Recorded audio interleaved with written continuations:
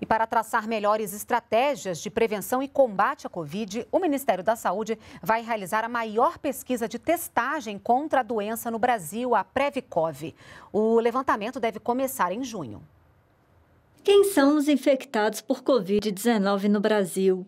Para responder a essa e outras perguntas, o Ministério da Saúde vai realizar o PrevCov, uma pesquisa de prevalência da infecção por Covid-19. Com o estudo, será possível, por exemplo, saber em quais estados, capitais ou regiões metropolitanas a infecção pelo coronavírus é mais intensa e quais os grupos são mais afetados. É um arrojado estudo epidemiológico que trará respostas fundamentais para que possamos acertar o alvo certo. O estudo deve começar em junho e vai trabalhar com pessoas selecionadas na Pesquisa Nacional por Amostra de Domicílios, a PNAD Covid-19 do IBGE.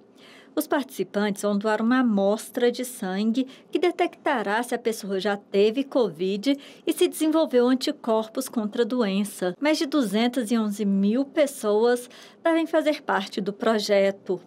Entendemos que por uma estratégia de testagem conduzida de forma adequada, nós poderemos é, promover uma reabertura segura da nossa economia.